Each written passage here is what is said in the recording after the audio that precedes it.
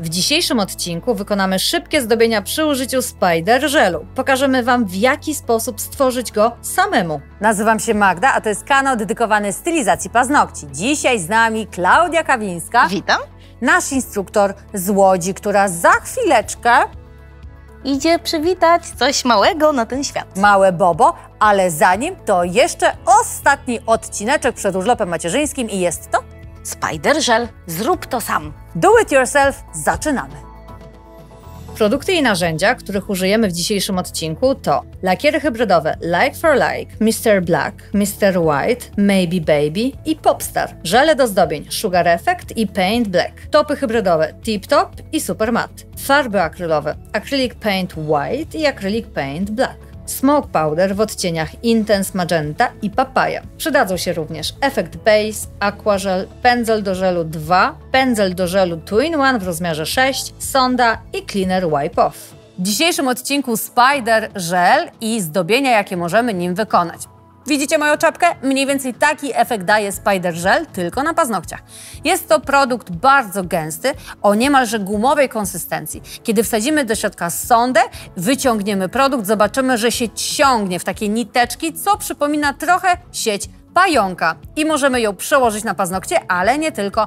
Możemy wykonać wszelkie geometryczne zdobienia. Co jest najważniejsze, jest to produkt dla osób, które do tej pory nie za bardzo radziły sobie z taką cieniutką, precyzyjną linią, a dzięki temu żelowi po prostu mogą ją wykonać. Pierwsze zdobienie zaczynamy od pokrycia tipsa kolorem hybrydowym Like for Like. Malujemy dwiema warstwami, utwardzając każdą z nich przez 30 sekund w lampie. Następnie pokrywamy tips cienką warstwą aquażelu. Na tym etapie warstwa powinna pozostać mokra. Na szkiełko nail art wykładamy kroplę hybrydy Mr. Black. W tym samym miejscu, warstwa na warstwę, dokładamy odrobinę koloru Mr. White. Przy pomocy pędzelka Master Nail Art 007 wykonujemy maziajki wzdłuż i w poprzek mokrych warstw. Sięgamy po pędzel Gel Brush numer 6. Trzymamy pędzel pionowo i wykonujemy ruch tak, jakbyśmy chcieli nabrać na łopatkę naszą mieszankę. Ściągamy ją jednym pociągłym ruchem. Produktu powinno być maksymalnie do 1 trzeciej wysokości pędzla. Wracamy do naszego tipsa. Na nieutwardzoną warstwę aquażelu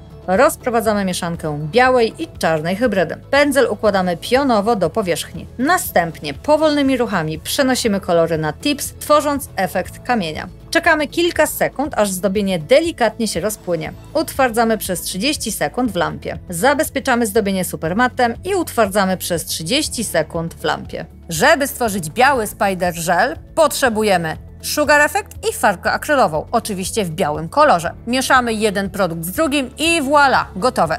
Jeżeli chcemy stworzyć kolorowy Spider Gel, to do tej już białej mieszanki musimy dodać trochę pigmentów i możemy mieszać ile fabryka dała. Wybieramy sobie kolory takie, jakie potrzebujemy.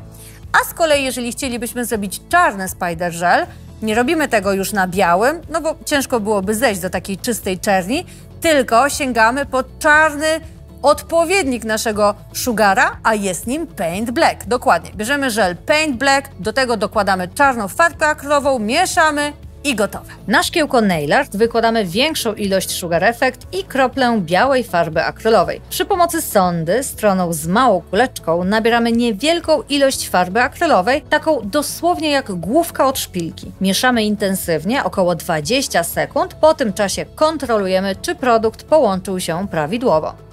Podnosimy sondę z naszą mieszanką do góry. Jak widzicie, zaczyna przybierać konsystencję spider żelu, jednak niteczki zbyt szybko się urywają, dlatego musimy dołożyć kolejną porcję farby akrylowej. Mieszamy szybko i energicznie, kontrolując konsystencję i lepkość produktu. Skoro to takie proste, to dlaczego w Indigo nie ma Spider Gelu? A, widzicie? Ponieważ ta mieszanka, którą wykonaliśmy, za chwilę nam zastygnie. Więc ciężko byłoby sprzedawać zastygnięty produkt, ponieważ jest on niepełnowartościowy. Co prawda da się nim porobić takie co nieco spider zdobienia, ale nie tak cieniuteńkie linie, na jakich nam zależy. Więc zapamiętajcie, że jeżeli mieszacie produkt sami, to nigdy nie róbcie sobie z nadwyżką na kilka dni przed, tylko tuż przed użyciem produktu mieszamy i działamy od razu. Trochę jak z tymi takimi naturalnymi maseczkami, które się miesza, wiecie, jajko z jarmużem, inne historie, do tego trochę mąki, nakładamy na twarz i voilà, proszę, gotowe. Trzeba działać na 5 minut przed użyciem, bo w innym wypadku potem ta breja już się nie będzie nadawała do działania. Przy pomocy sondy, tak jakbyśmy chcieli nałożyć produkt na łyżkę, Wyciągamy cieniutkie niteczki. Nakładamy od dolnej części tipsa i ciągniemy pajęczynkę do góry. Powtarzamy czynność kilkukrotnie do uzyskania pożądanego efektu. Utwardzamy przez 30 sekund w lampie. Czekamy około minuty, aż produkt ostygnie, następnie paznokcie przecieramy wacikiem nasączonym cleanerem Wipe Off. Po utwardzeniu Spider Gel będzie delikatnie błyszczeć, dlatego nie musimy w żaden sposób nabłyszczać naszych wykonanych linii. Drugi tips pokrywamy dwiema warstwami koloru Mr. White. Każdą z nich utwardzamy przez 30 sekund w lampie. Czas na przygotowanie folii paparazzi. Przy pomocy ostrych nożyczek tniemy folię mniej więcej na szerokość tipsa. Trzymamy ją dwoma palcami, dociskając mocno do powierzchni tipsa, a następnie zrywamy szybkim i energicznym ruchem. Całość zdobienia zabezpieczamy topem Supermat i utwardzamy przez 30 sekund w lampie. Folię transferową możemy aplikować na trzy sposoby. Pierwszy z nich to lepka warstwa kolor. Tutaj bardzo ważny jest timing utwardzania. Jeżeli będziemy trzymać zdobienie zbyt krótko albo zbyt długo w lampie, to albo będzie zbyt obfita lepka warstwa, albo nam się przepali lepka warstwa i w jednym i w drugim przypadku nie będziemy w stanie odbić folii tak, jakbyśmy chcieli. My przyjmujemy umownie 30 sekund, ale pamiętajcie, że to zależy od Waszej lampy i od kondycji, w jakiej ona się w tym momencie znajduje. Drugi sposób jest na klej. Nakładamy klej w miejscu, w którym chcemy umiejscowić folię. Czekamy 40 sekund i w momencie, w którym klej stanie się transparentny, odbijamy naszą folię.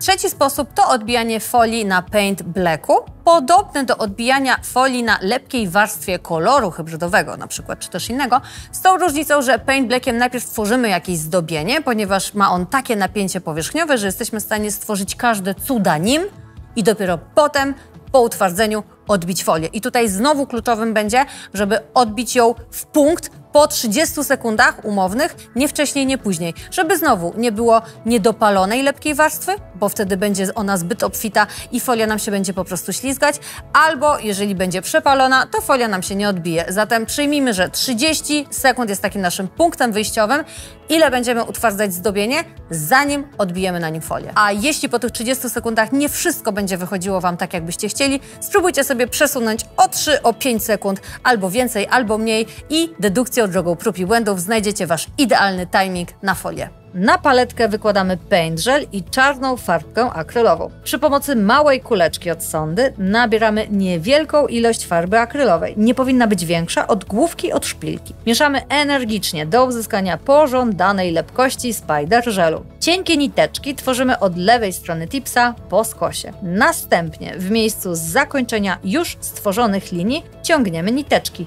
również po sosie do lewej górnej części tipsa. Powtarzamy czynność kilkukrotnie i utwardzamy przez 30 sekund w lampie. Czekamy około minuty, aż produkt ostygnie i przemywamy paznokcie wacikiem nasączonym cleanerem Wipe Off. Gotowe. Tak prezentuje się kolejne zdobienie z wykorzystaniem Spider Gelu. Do pomalowania ostatniego tipsa użyjemy koloru hybrydowego Maybe Baby i będzie to warstwa podkładowa pod ombre. Malujemy dwiema warstwami, każdą z nich utwardzając przez 30 sekund w lampie. Przed przystąpieniem do malowania pionowego ombre należy przygotować pędzel i odpowiednio go wyczyścić. Na paletę Nail Art wykładamy kroplę Effect Base, dokładnie moczymy włosie pędzla z każdej strony. Wycieramy o suchy wacik i dopiero teraz możemy przystąpić do pracy. Aplikujemy kolejną warstwę hybrydy Maybe Baby. Malujemy do połowy szerokości tipsa. Po drugiej stronie aplikujemy kolor Popstar. Trzymamy pędzel pionowo i rozcieramy granice między odcieniami. Nacisk na pędzel powinien być do 1 trzeciej wysokości włosia. Cieniujemy od górnej części tipsa w dół. Czynność powtarzamy do momentu, aż uzyskamy łagodne przejście między kolorami. Następnie przesuwamy pędzel do lewej strony tipsa, milimetr po milimetrze,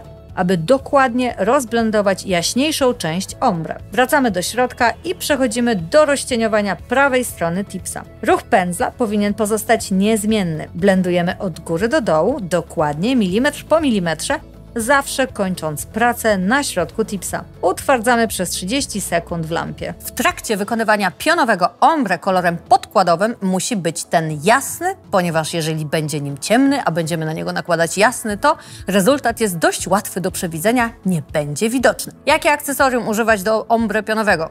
Do wyboru do koloru. To może być gel brush, to może być ombre brush, wasz ukochany do ombre, ale może też być na opartego i pędzelek gel poliszowy.